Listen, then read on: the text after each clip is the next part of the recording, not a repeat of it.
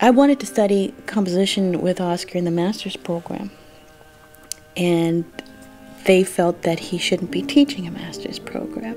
And I said, that's an outrage. You know, here's a man of international stardom, and you're not having him teach master's program?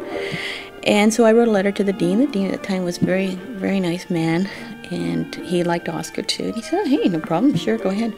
And I was told that I was starting political trouble there at the university, that they'll get me for it, that um, they'll nail me on my thesis. And they failed me on my thesis, saying I wrote too much piano in my piano concerto. And Oskar's been hurt ever since, and so have I. And I didn't know what to do. Uh, I was brought up in such a way that you listen to your uh, teachers, that they are right. And I was told that you are a performer, not a composer. So I stopped writing for six years. We were both very hurt by this. It was so unfair. I'm sure I could have done something, but I didn't know I could. I could have petitioned, you know, that sort of thing. But uh, everything just went downhill for me for six years. Very depressed. And uh, then I met Gary Kulesha. He said, What's the matter with you? Oskar taught you all these things and you're just doing nothing, just playing the piano? Come on, write some music. And I said, You're right, you know, I'm going to go for it again. And I did. And uh, when I wrote this piece, my first piece back, uh, I got, I'm so happy. Thank you, Bill Littler, for rave reviews. and I got a letter of apology, and I got hired to teach at U of T.